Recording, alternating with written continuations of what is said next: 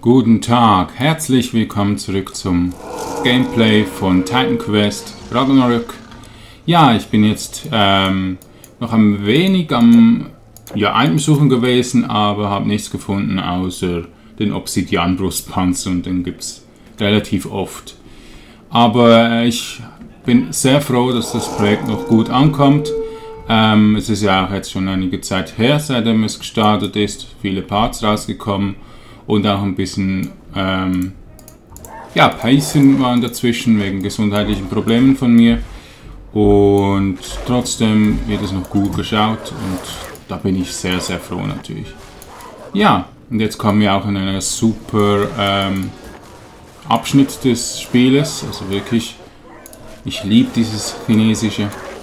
Und ähm, das wegmachen, so ich freue mich einfach riesig, da durchzulaufen und äh, Quests zu machen. Ja, vielleicht noch ein paar Items zu finden. Jo. Oha. Kommen diese Kristallgolems.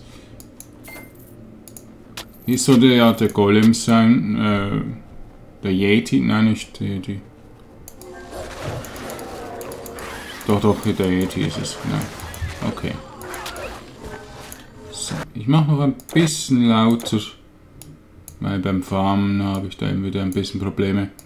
Ja, der, die Musik ist aus, weil es halt rechtliche, also die, die Songs sind geschützt. Das ist das Problem. Aber ähm, ja, es muss ja nicht unbedingt Sound in einem solchen Spiel sein. Also Sound äh, Musik. Und ja.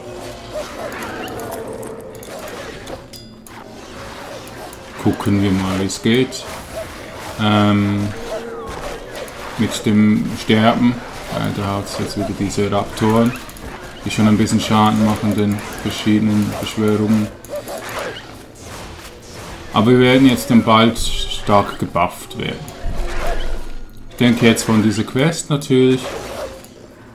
Und dann auch noch von den Items, die dann ja auch sobald kommen mit den Ersatz, also weiteren Beschwörungen. Da müssen wir aber aktiv im Kampf mitwirken, habe ich gesehen.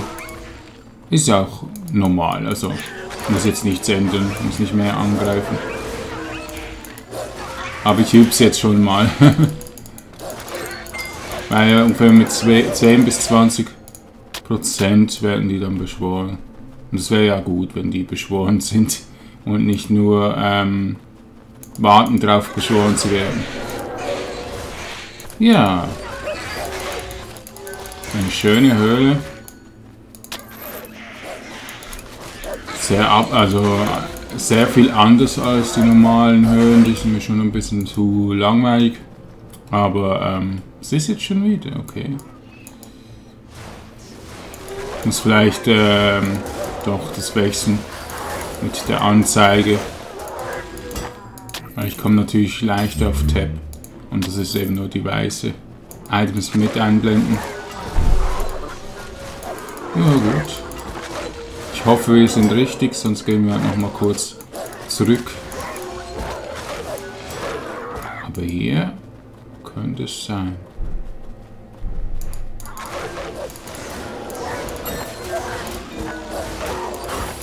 Hm. Mal gucken, hä? Ich bin gespannt. Schnell die Feuer. Teile töten. So. Ja, und im nächsten Level haben wir die Najade. Äh, ich glaube, was. Äh, Nymphe, genau. Ich immer mit Najaden, weil ich das in einem anderen Spiel hatte. Ich weiß jetzt auch gerade nicht, welches Spiel es war. Gut, schön ausgewichen. So, haben wir ihn erreicht. Immer schön ausweichen. Und nicht allzu weit weggehen, sondern Runden machen. Wunderbar. So, ja, viel AP bekommen. Das ist toll. So, und Hundegesundheit auf die Begleiter, auf alle Begleiter. Ha! Ich wusste es. Lazarus Armschienen. Okay, sehr interessant. Das könnte etwas für unseren Bild sein. Hier haben wir einfach so ein bisschen ja, normales Ding. Ah, nein, es ist schon wieder... Wieso gibt es so viele Nahkampfzeugs? Die haben das wirklich nicht so balanciert. Das ist... Ja. Lazarus tönt irgendwie wie ein Magier.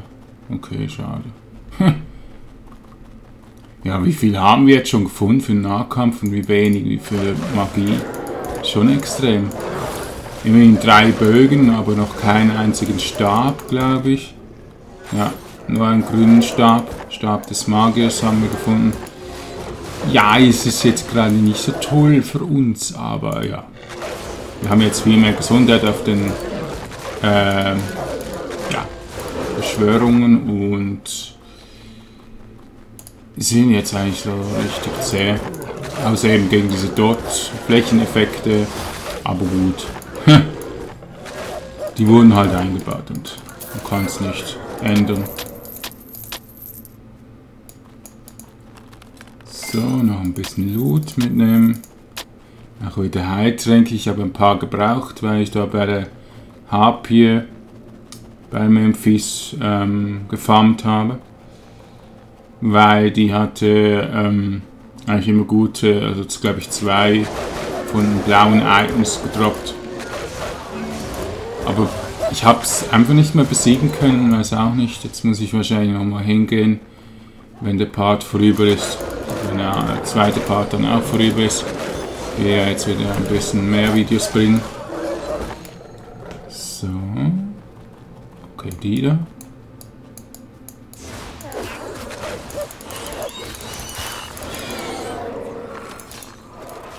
Okay, okay. Besiegt ihn. Ja, schneller. Okay, sie bekommen fast keinen Schaden mehr über. Das ist cool. Aber dennoch sind wir ein bisschen gestunt. Ja, endlich. Also, ich habe schon lange gewartet, bis die äh, stärker zäh werden.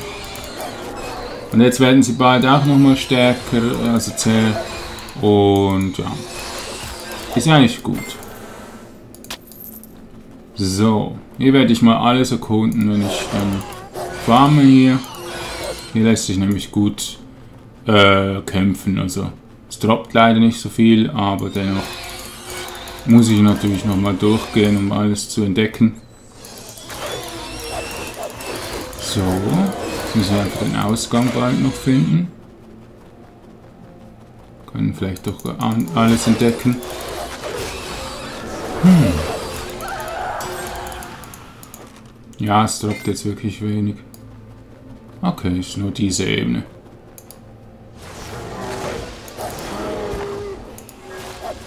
Jetzt weiß ich gar nicht, wo ich hin soll. Hm. Ja, vielleicht hier. In diese Richtung. Da waren wir alles schon. Hm. Ah, unten. Okay, das sieht man gar nicht. Ja, dann ist klar.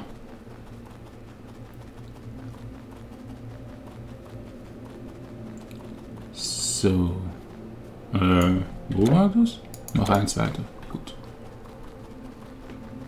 Ja, die Symbole, also das rote äh, Höllensymbol, das ist so winzig. Das sehe ich natürlich im ersten Blick nicht.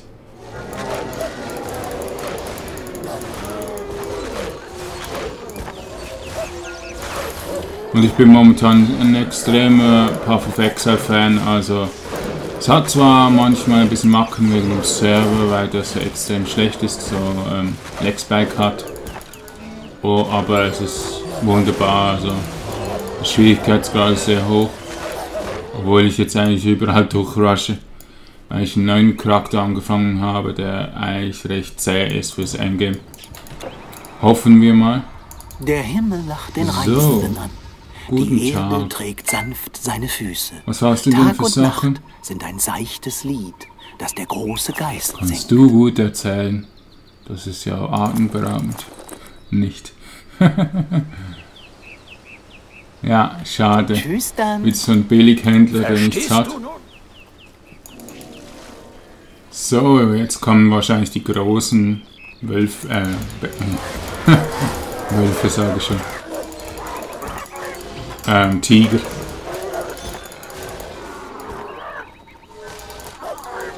Und auch die Drakoner oder wie sie heißen. Bin mal gespannt, wie sie heißen. Weil die kenne ich jetzt eigentlich nur auf Englisch. Weil ich äh, bei einem englischen YouTuber natürlich Titan Quest geschaut habe damals, als ich da noch nicht so gut spielen konnte wegen den, äh, wegen der neuen Hardware habe ich so ältere Spiele dann natürlich immer als Let's Play geschaut bei Leuten, die noch nicht so einen guten PC haben. Und ja. Jetzt ist dann, ja, vor einem Jahr ja die äh, Anniversary Edition rausgekommen und die läuft eigentlich fast flüssig. Und mit Ragnarok ist es ganz flüssig geworden. Und ich freue mich auf jedes weitere Add-on DLC. Ah, Spiel könnte noch zu einem echten Geheimtipp werden. Weiß es eigentlich jetzt schon. Aber es, ist halt, es hat einfach schon extremes Alter vor, vor sich.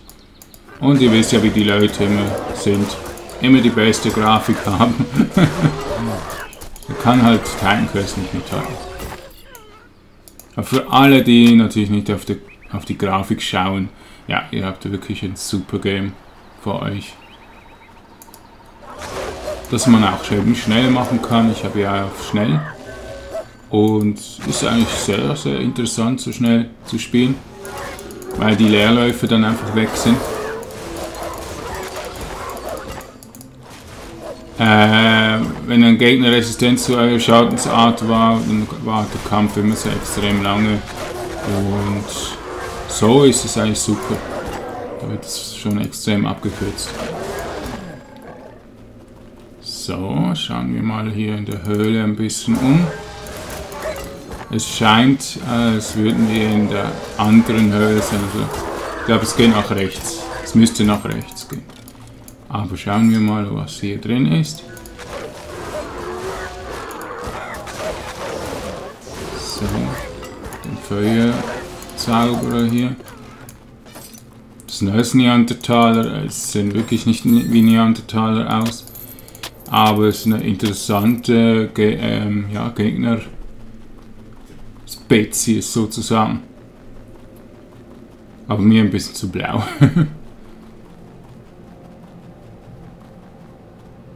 so, und jetzt haben wir noch den anderen. Haben wir irgendwie einen Weg noch? Ja. Also das sind Nebenhöhlen. Okay. Verstehe. Schnell mal ähm, den Schrein holen, damit wir mehr Schaden machen. Ja, es läuft sehr gut, aber jetzt möchte ich gerne wieder mal ein Item haben. ja, bei den äh, Drachenleuten gibt es dann sicher wieder Magie-Sachen.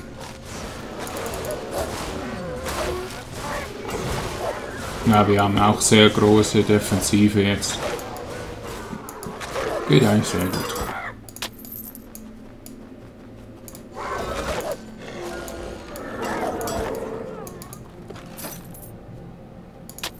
Ja, ist nichts in diesen Höhen. Winzig kleine Höhen haben wir alles. Ja. Da ist nichts, nur eine Truhe, die äh, nichts macht. Okay. Keine Items gibt nichts, nur Dekoration. Hm. Also der Akt 5 sollte dann wirklich das Niveau wieder extremst nach oben bringen. Jetzt ist zwar das Niveau schon extrem hoch, aber eben ohne Ereignis macht es halt auch nicht so viel Spaß jetzt gerade. Wir werden schon sehen. Ich weiß nicht wieso, die Marke einfach nichts tragen, nur weiße Items. Jetzt würden sie ja droppen, aber sie droppen überhaupt nichts. Das ist wirklich komisch gemacht. So hatte ich das nicht in Erinnerung. Ich war immer gerne Magier in diesem Spiel.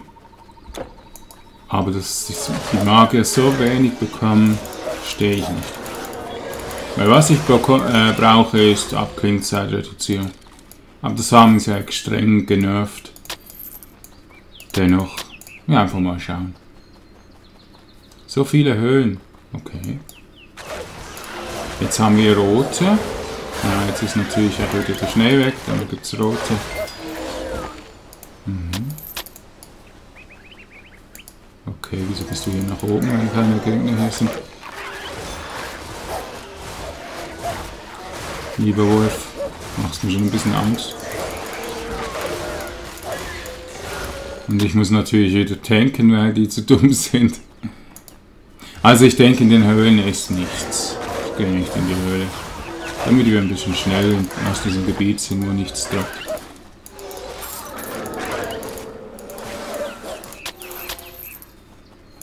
Was ein Holz für einen Hakenschwert?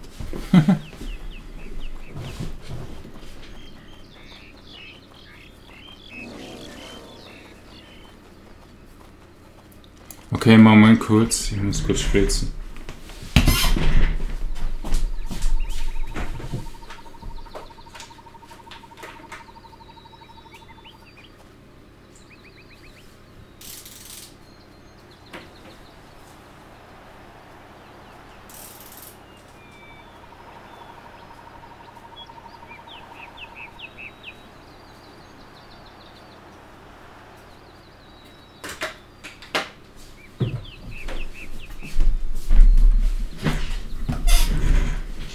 Das blöde Diabetes. ich hab's dann voll vergessen, weil ich jetzt gerade gegessen habe. Ich habe immer so Lust, nach dem Essen einfach aufzunehmen. Weil es mir vielleicht einfach so gut geht nach dem Essen. Und ja, da müsste ich eigentlich noch spitzen kurz davor. Aber ich habe natürlich so viel vor. Da, ja, ich, ich, ich bin verwundert, dass ich überhaupt das vergessen habe, weil ich sehr, sehr gut natürlich daran erinnere, eigentlich noch nie vergessen habe. Und trotzdem ähm, jetzt mal passiert, aber gut. Es ist halt jetzt auch gerade momentan so eine Phase, wo ich einfach sehr gehypt bin, Videos aufzunehmen, euch eine Freude zu machen hier an Weihnachten und so weiter. Ja, es ist ja nur noch fünf Tage und ja, dann haben wir schön. Also ich, ich genieße es einfach, wenn es so ein bisschen ruhig ist. Draußen auf der Straße und so. Jetzt kommen die Tiger.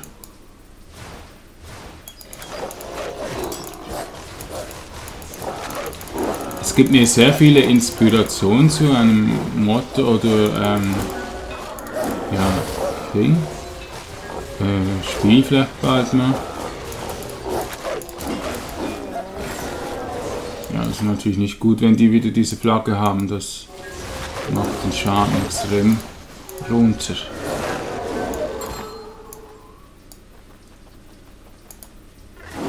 Die Flaggen sind wahrscheinlich voll ausgebaut. Zweimal.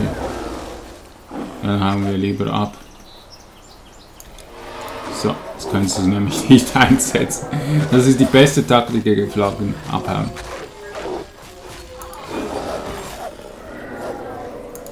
Der Schwarze ist so cool. Das sind die Rudelanführer scheinbar. Ach, genial. Schon wieder so ein Hakenschwert.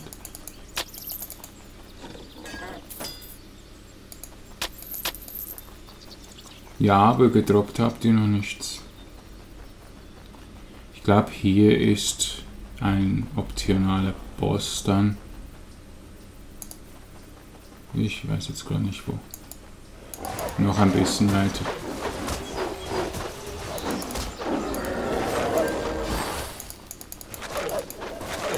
Aber eben er ist nicht da normal. Denke ich mal. Das sind dann höhere Schwierigkeitsgrade.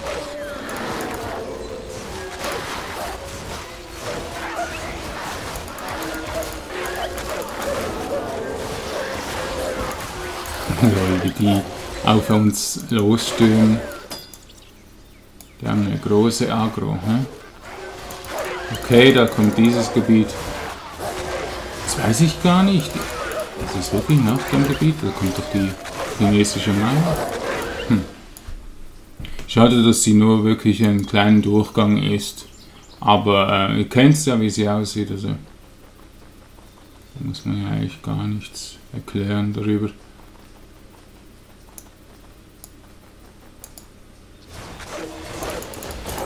gut, auf den gehen, auf den gehen. Okay, wenig Schaden erlitten.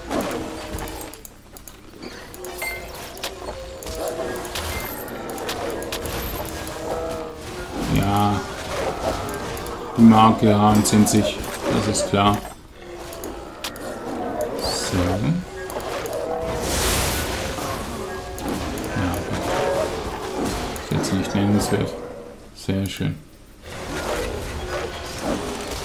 Ja, jetzt natürlich wieder. Ach Gottchen. Ich weiß nicht, wieso die das so komisch balanciert haben gegen Pets.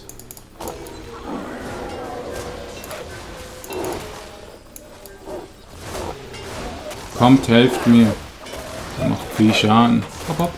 Die Pets kommen einfach nicht, weil sie auf den anderen fixiert sind. Weil der halt stärker ist. Durch, den, durch die Standarte. So, da ist fertig. Jetzt müssen wir eigentlich... Jetzt muss ich doch mal noch kurz schauen. Wo war denn das mit dem... Das könnte vielleicht hier gewesen sein. Dann kommt das nicht so vor. Aber irgendwo ist so eine, äh, geht es nach links und dann kommt eine äh, Brücke und dann ist so ein Feld. Ich glaube, das Skelettdrache ist da, das, das weiß ich auch nicht. Moment kurz.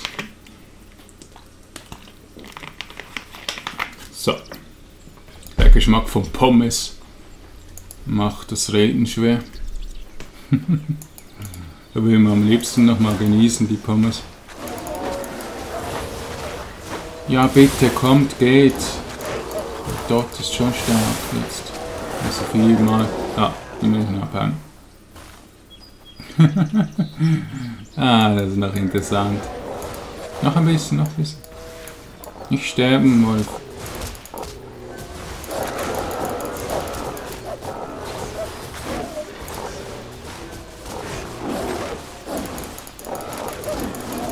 Das ist jetzt mal interessant. Sehr gut. Ähm, könnt ihr äh, heilen, bitte? Ähm, ja. Wir haben keine Heilmöglichkeit, glaube ich. Moment kurz. Ja, wir haben sie gar nicht geskillt, ja. Weil es ist halt sehr gering, was ich es glaube ich weggeskillt. Aber eben braucht es nicht. So, bei wenigen können wir die Standorte anhaben, müssen aber konzentrieren auf die Standorte und das machen nicht alle. Aber es ist sehr interessant jetzt wirklich. Ist fast schon toll. Yeah, grüne Seiten, endlich.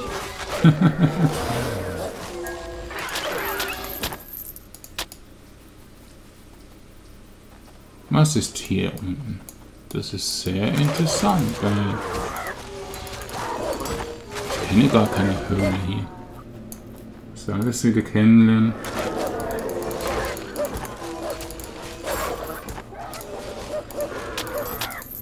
Weil so viel äh, Ausdauer halte ich noch in Time Quest. Das ist wirklich super, dass ich da ein Gameplay mache. Und ähm, weil ich eben das so schnell wie möglich zeigen kann, ohne zu farmen. Aber eben, es bringt wirklich nichts zu farmen in diesem Spiel jetzt noch. Die Entwickler wollen das wahrscheinlich, dass man erst später farmen muss. Ja, ist auch gut. Und deshalb, ja, ist es umso besser, wenn wir schnell vorwärts kommen. Man so richtig genießen kann man das Spiel dann auch im letzten Schwierigkeitsgrad noch und äh, vielleicht einmal zuhören oder so. Aber ich denke, dann will, will man eher dann wirklich die super Items haben. Also ja, eben in einem Let's Play würde ich das natürlich alles vorlesen oder vorlesen lassen. Sie sind recht langsam im Reden, also ja, es macht nicht so viel Spaß, denen zuzuhören. Und ja. Ich bin sowieso jetzt auch momentan am Schnellreden lernen weil ich bin ja wirklich kein Deutscher, also zu 25 Prozent, aber niemand redet mir mehr Hochdeutsch. in der Schweiz und deshalb, ja.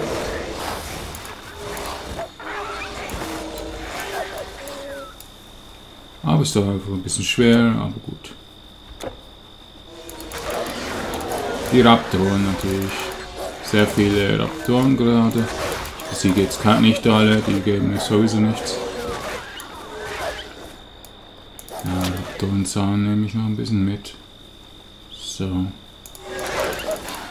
Aber eben in solchen Spielen ist halt die Abwechslung sehr groß geschrieben. Deshalb muss man halt schnell spielen, es ist ja auch ein Action-Rundspiel. Ja.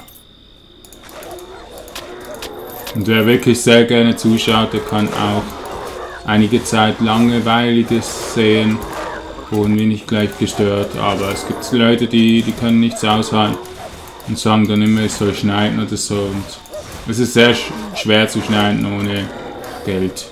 Also ohne ein Programm zu kaufen.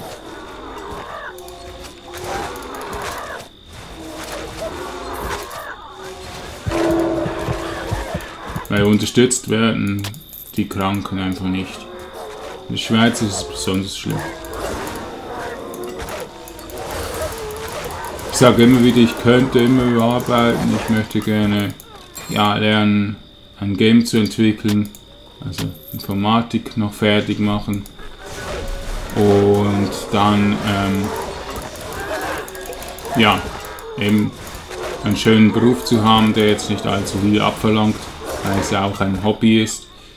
Ja, aber sie sagen sofort, nee, das kannst du nicht. Du musst dich schonen, die Muskeln Hilfe! halt nicht so viel haben. Meine Tochter, sie ist im Dorf gefangen! Hilfe! Ja, ist gut, nicht so schreien. Okay, der hat ihn gefangen. Das sieht so aus, weil das... Okay, ist schon tot. Ah, da ist sie. So. Meine Tochter lebt? Ach, Fremder, vielen Dank. Vielen Dank. Interessante Quest. blub, blub, fertig. Also Reduktion von allem ist sehr interessant, aber man hat tausendmal mehr bessere Items. Ja. Vielleicht für einen Paladin, der nicht auf Angriff schauen muss. Und da müssen wir schon zu zweit spielen.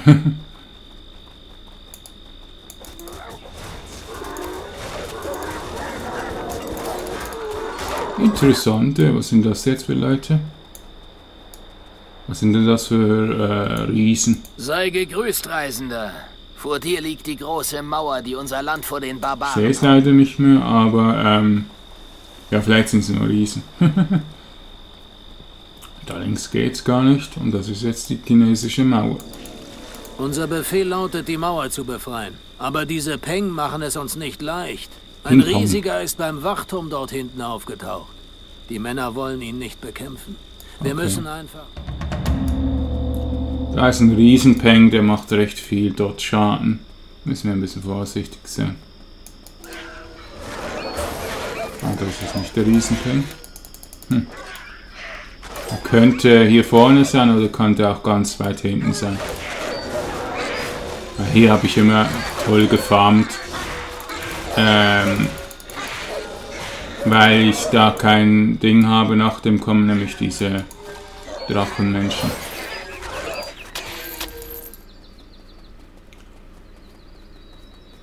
Die, die droppen natürlich viel, aber die nicht. Das ist der Riesentank. Ja.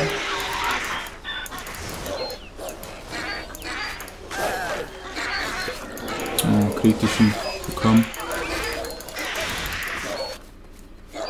Oh, der macht viel Schaden. Okay, ist glaube ich nicht wie in einem Mod so ähm, am Feuer schleudern und so. Komisch.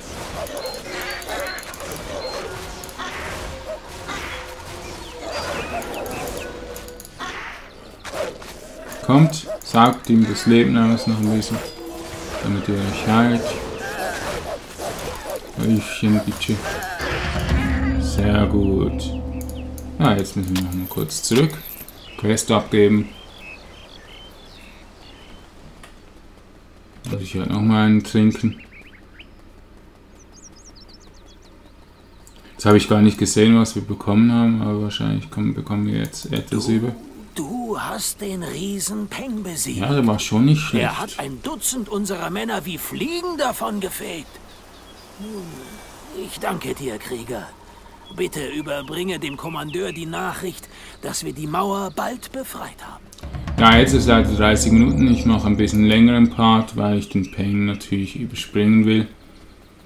Ähm, der ist nämlich nicht so gut für die Pets. Oder nein, ich mache kurz einen neuen Part. Bis, ja, den nächsten Part. Tschüss.